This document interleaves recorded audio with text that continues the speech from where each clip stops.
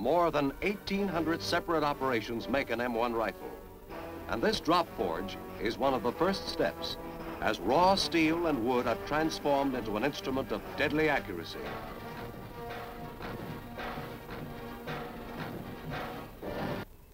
A far cry from the early days of gun manufacturing as practiced here at the Springfield Armory, when in one year, 1795, 40 employees turned out a total of 245 muskets. At its peak in modern times, daily production reached 4,600 rifles a day. But the use of machine tools has never affected the high standards of manufacture at Springfield.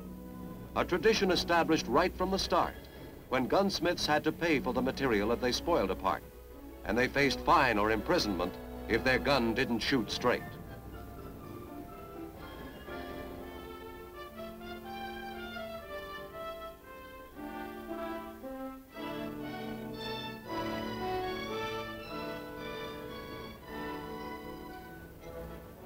Many special pieces of equipment and apparatus have been developed at the Armory. A strange-looking machine is this barrel straightener, which is for visually checking and straightening the new borings. The Armory is the small arms center of the United States Forces. Here are concentrated the Ordnance Corps facilities for experimental development of hand weapons, including rifles and automatic weapons, also for pilot line production, Besides being the nerve center for small arms research, it is the repository of the latest production techniques and newest developments in the art of military gunmaking.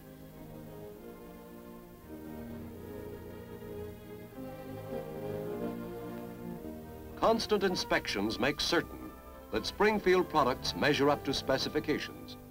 The Armory also checks civilian-produced items for conformance to standards the Inspection Division trains and supervises personnel assigned to civilian plants.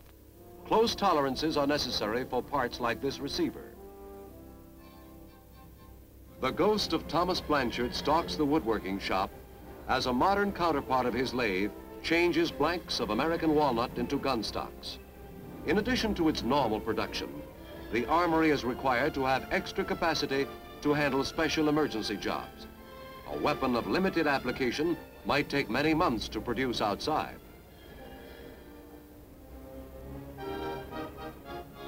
The 93 separate parts which constitute the M1 are all turned out from raw material, each of them fabricated with precision and interchangeable in any other M1 rifle.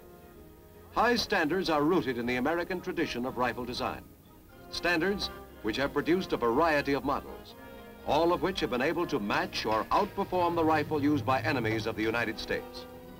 These standards are preserved in the manufacturing methods at Springfield. Methods and trained personnel held ready to be passed on to civilian plants in time of national emergency.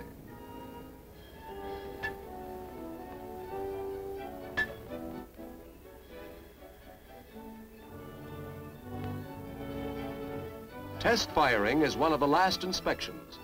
The many rigid checks along the way and accurate methods of manufacture make it rare that a piece is rejected in this stage.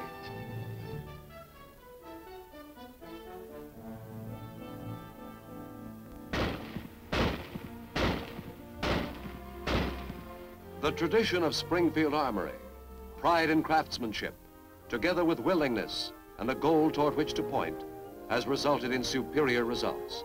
The best small arms in the world insurance against aggressors.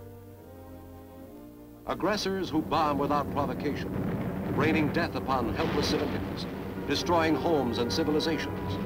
This was Adolf Hitler's contribution to the world in 1939.